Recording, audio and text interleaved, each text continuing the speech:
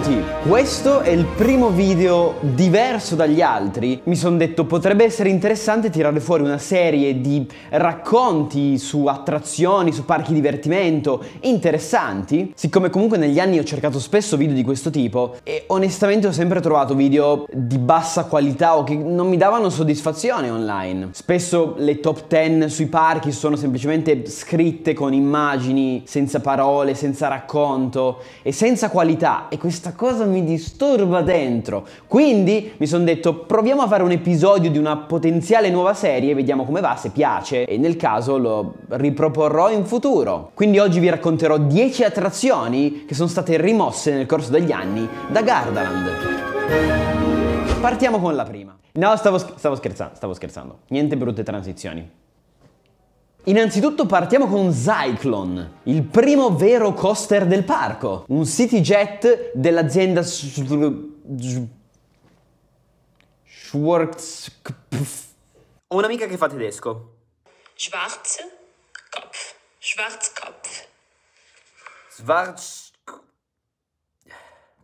Che era l'azienda produttrice. Era un piccolo coaster situato circa dove adesso si trova la piazza Ramses. Stiamo parlando del 1981. Venne poi chiuso nell'83-84. Questo guardando le mappe, perché spesso i siti indicano come date dall'82 al 91, però se guardi le mappe non c'era quindi, ma è possibile che alcuni di voi l'abbiano anche provato perché è presente una copia identica, anche se non è proprio la stessa attrazione fisica, a Movieland. Attualmente è chiuso e in fase di smantellamento, sembra, chiamato Bronto Jet al fondo del parco. Un'attrazione piuttosto rigida dalla quale se ne esci senza lividi è tipo una magia. Non credo di essere mai uscito senza un graffio, un livido qualche, qualche botta. Uh, ma un'attrazione che fu molto apprezzata fino a quando non sono poi nate le Magic Mountain e allora da lì insomma. Abbiamo poi Asterline Saturno 7, un simulatore spaziale a forma di razzo, situato nella zona dove ora si trova il Magic Kingdom, nasce nel 1979, opera fino all'87 e da lì in poi viene utilizzato solo come scenografia fino allo smantellamento nel 94. Viene poi preso e spostato a Movieland, lo stesso meccanismo utilizzato per l'attrazione U571 che nasce nel 2006. Quindi lo potete ritrovare lì nel tour panoramico a Movieland, lo vedete dall'alto ed è, ed è sempre lì, anche se è totalmente diverso. Abbiamo poi la Crazy House, ovvero il castello di Mago Merlino e prima ancora il castello di Dracula,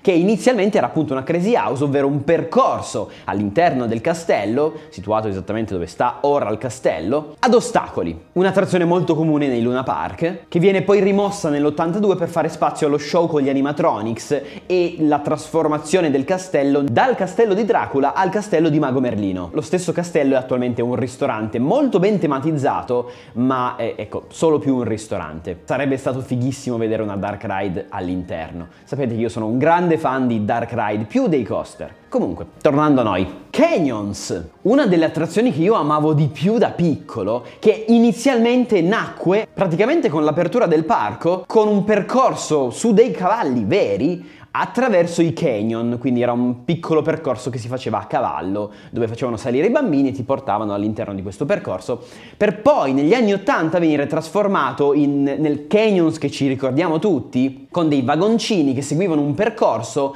e, e finivano per passare attraverso una miniera, dove c'erano dei piccoli animatronics, c'erano delle rocce che crollavano, effetti d'acqua, era molto molto bella, io la amavo da piccolo. L'attrazione venne chiusa nel 2008 in seguito ai lavori di Mammut che passa esattamente sopra, ma non venne mai riaperta come Canyons, bensì nel 2009 venne riaperta come gioco a pagamento chiamato Canyons Creek, dove i visitatori potevano andare a cercare l'oro in questi cunicoli in cui passava l'acqua, insomma, non, non l'ho mai provato, non mi ha mai interessato neanche minimamente. Canyons Creek venne poi chiusa nel 2018 per fare spazio alla foresta incantata, che comunque in confronto a Canyons Creek almeno succede qualcosa. Attrazione non molto apprezzata dal pubblico, dedicata ai bambini con degli attori che ti portano attraverso questa foresta incantata in questo percorso con dei piccoli effetti speciali, nessun animatronics e alcuni effetti di proiezione 3D. Devo dire, a me non dispiace, nel senso che è molto targetizzata per bambini. Certo che l'avessero coperta tutta e resa effettivamente gestibile tutta tramite delle luci avrebbe avuto un effetto completamente diverso, magari lasciando anche i piccoli carrellini, sarebbe stato senz'altro molto più interessante raccontare una storia in quel modo, per quanto piccola, per quanto corta e, e per quanto semplice, piuttosto che con un percorso che forma delle code lunghissime e, e dura veramente poco, però ci sono degli attori che devono recitare, insomma è abbastanza complessa la cosa. Io avrei preferito vederla strutturata un po' diversamente, sfruttare le meccaniche del vecchio percorso o comunque qualcosina di nuovo, per quanto questo comporti diversi problemi per cui non è stato fatto, per, per diversi motivi, però a me sarebbe piaciuto tantissimo vederla costruita in quel modo. Ma questa è un'altra storia, magari un giorno parleremo di quello che vorrei fosse Gardaland, eh, tirando fuori dei piccoli progetti, delle idee, delle... non so, secondo me è sempre interessante dare idee Abbiamo poi il cinema dinamico, che è situato esattamente dove si trova ancora adesso, ovvero sotto l'attuale T-Restaurant che faceva da ingresso una volta. Nasce nel 1990 ed era un cinema dinamico dove le zone in cui si sedevano i visitatori si muovevano in maniera effettivamente dinamica seguendo quello che succedeva sullo schermo. Venivano proiettati fino a sei filmati diversi eh, durante la giornata, quindi potevi tornarci più volte per vedere filmati diversi e io lo amavo, amavo quello dei tronchi, amavo quello della miniera da piccolo mi ricordo che adoravo quell'attrazione sia per la coda con gli animatronics e i dinosauri, ho visto parlando del 2002-2003, quegli anni in cui effettivamente il tema principale era quello dei dinosauri perché c'era un filmato tema dinosauri, però tra la coda e i filmati io ero innamorato di quell'attrazione. Attrazione ancora presente sottoterra ma spenta e non utilizzata. Chissà che il parco in futuro, nei prossimi anni, non decida di ridargli vita trasformandolo, sfruttando quello spazio per qualcos'altro staremo a vedere. Abbiamo poi il corpo di Eva, un tour interattivo all'interno del corpo umano, in particolare di questa Eva, una donna incinta, per spiegare ai bambini il funzionamento del corpo umano. Venne aggiunto nel parco nella zona dove ora si trova l'area di Kung Fu Panda, di fianco a Shaman questo nell'88 e venne poi rimossa nel 93 e spostata allo Zoo Safari di Fasano. Un'altra attrazione che ormai non esiste più era Nuvola, una piattaforma che ruotava su un pendolo e sollevava i visitatori fino a 10 metri d'altezza. Nata nel 1989 nella zona dove ora si trova l'area di Kung Fu Panda, Venne poi smantellata nel 2001 in seguito a un piccolo incidente nel quale si ruppe un pistone e spruzzò olio sui visitatori che erano sull'attrazione in quel momento, causando un po' di lamentele. Giustamente ti vedi spruzzare dell'olio, dell'olio del grasso addosso, non, è, non deve essere stato bellissimo. E da lì il parco decise di smantellarla e nella stagione dopo non fu più presente. Altra attrazione degna di nota, Icarus. Flat ride situata in zona medievale, dove ora sorge il playground di Prezzemolo, nasce nel 1900 1989, alta ben 25 metri, faceva ruotare i visitatori fino a questi 25 metri. Mi ricordo che mio padre doveva accompagnarmi sull'attrazione perché non potevo salirci da solo da piccolo, io ho sempre amato le robe che ti facevano provare emozioni forti fin da piccolissimo, quindi doveva accompagnarmi ogni volta. Lo faceva sempre a fatica. Grazie papà che mi hai permesso di fare mille giri su queste attrazioni. Venne poi venduta nel 2011 a Miragica, parco in Puglia, che però purtroppo pochi anni dopo ha, ha chiuso ed è attualmente chiuso. Parliamo ora del mondo di Barbie, una mostra realizzata in collaborazione con Mattel che comprendeva tutte le Barbie realizzate fino a quel momento. È stata attiva tra il 94 e il 96 in un tendone che era situato mh, più o meno nella zona medievale all'inizio del parco